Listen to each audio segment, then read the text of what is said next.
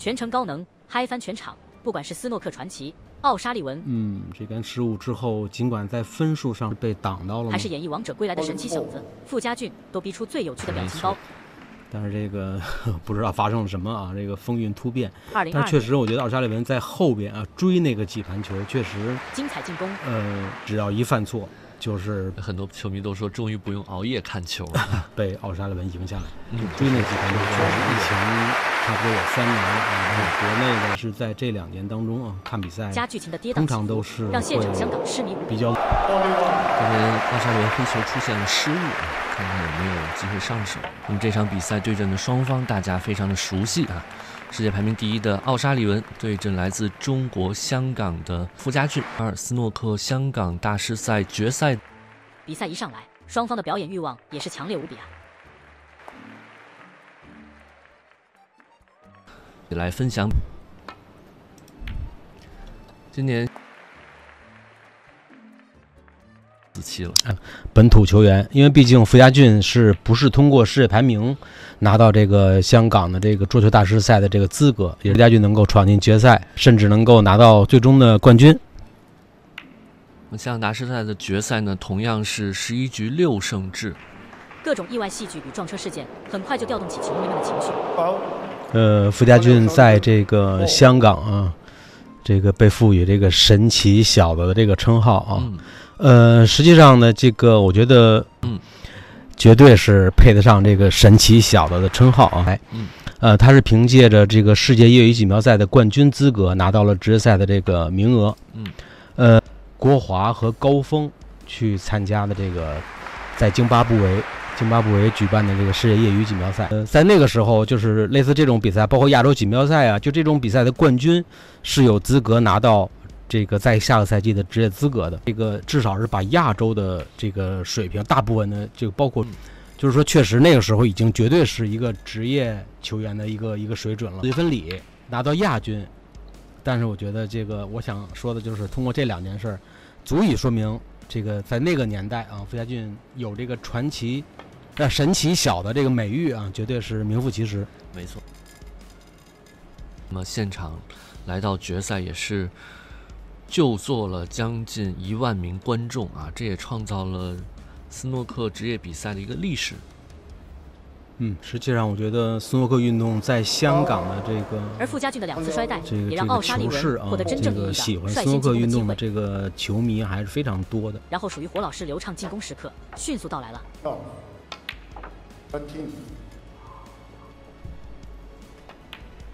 不理想，都是影响到了。这个进攻的，那么很多朋友也是关心香港大师赛的奖金分布啊，在两万两千五。哪怕是一再碰到这样的毫厘极限考验，现在要扎里文是已经把这个黑球啊，黑球解出来。呃，在之后的这个，呃，实际上战胜他依然淡定无比。呃，尼那个后后半程啊，我是没想到，是因为前半程啊，那个尼尔罗比逊发挥的非常出色。觉得奥沙利文在后边啊追那个几盘球，确实。给了球迷们一次又一次惊艳无比的教科书级展示。球迷都说，终于不用熬夜看球了。确实，这个疫情差不多有三年了啊。国内的这个排名赛呢，是在这两年当中看比赛，还是来了。通常都是会比较晚的时间。这边奥沙维黑球出现了失误，失误之后，尽管在分数上是处在领先啊，但是现在，呃，给到傅家俊的这个局面还是相当不错的。奥沙利文领先四十九分，舞台给到傅家俊，可惜傅哥未能把握住这机会。上手的一杆没能够打进，呃，傅家俊在这个心理层面啊，现在也是非常的成熟啊，嗯，因为毕竟还是非常的给力啊，是傅家俊的球迷都是奉献了一场精彩的比赛，而且而胡老师就彻底不留情面了，呃，也就是，呃，首先是这个能力啊，绝对是。在世界的这个前列当中，轻松完成超分任务。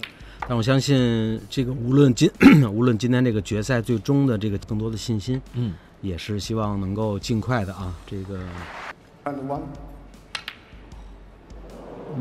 尽管是已经超分啊，但是难度并不大的红球啊，没能够打进。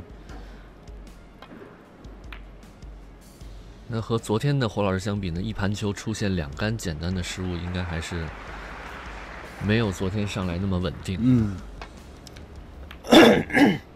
嗯，真是够准。之后啊，应该这一盘啊，肯定是确保啊能够赢下来。稍稍礼让一下，又开始了他更炸裂的清台表演。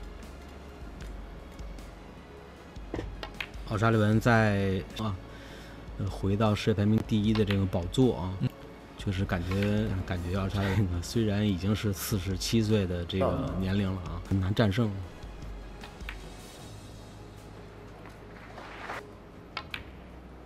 裁判都是戴着口罩吗？现场的这个观众啊，有在山顶做 做看台的。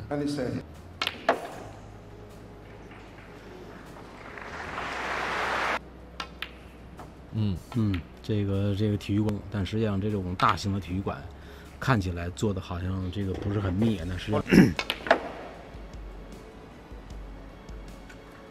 这种级别的比赛，嗯，这个香港在斯诺克运动上也是有这个很多年的这种呃文化。然后呢，这个来到现场看球的这球迷，第二局馆的这个现场的氛围真的是非常的棒。最左侧的这一颗红球啊，应该是选择沉底来做防守。但尊敬的客人都来了这么激情四射的演出了，作为东道主的傅家俊，岂能不给出回应？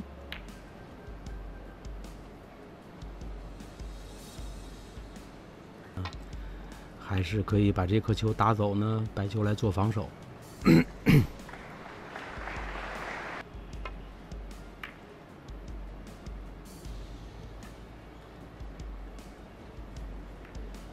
有一个连打带防的进攻机会啊！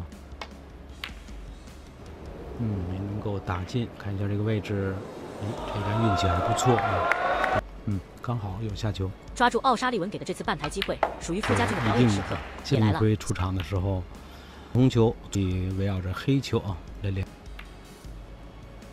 到这个技术动作啊，这这个任何的动作，只要适合你自己，都可以把这个球打好。所以。这个这些都是这个没有什么太多的意义的啊，嗯，黑柴啊，做现在这个至少是有三颗红球啊，可以来选择继续进攻。昔日称霸球台的半台进攻天王回来了，轻轻的推过来，红球堆最右侧的这一颗。呃，尽管傅家俊主这种掌声的方式啊，也需也需要傅家俊能够这个让自己当中呢稳定自己的情绪啊。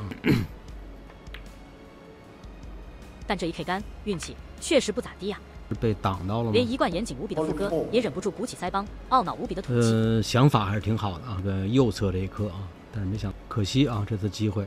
接下来又是双方 PK 防守斗法的时刻。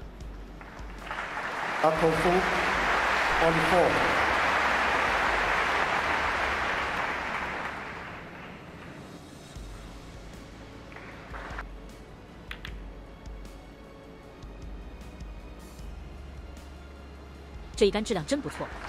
嗯，OK，中间的红球也不太容易啊，把这个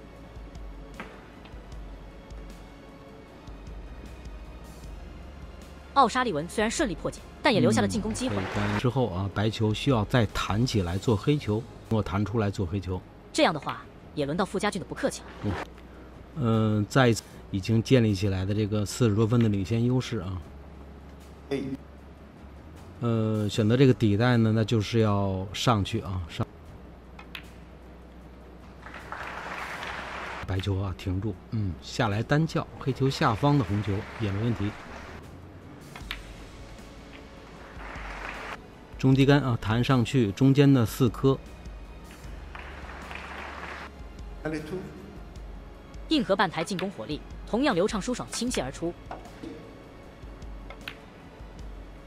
带一下啊，嗯，还是选择来单叫，嗯，豪横无比追赶着奥沙利文的脚步，把大比分追至一比一，嗯，展示着自己王者回归的实力。呃，实际上傅家俊的这个击球的速度出道了那个几个赛季里边，但是在，但是随着这几年的这个。不断的这个调整啊，感觉这个速度又回来了啊！回馈现场无数支持着他的粉球球迷们。一比一平。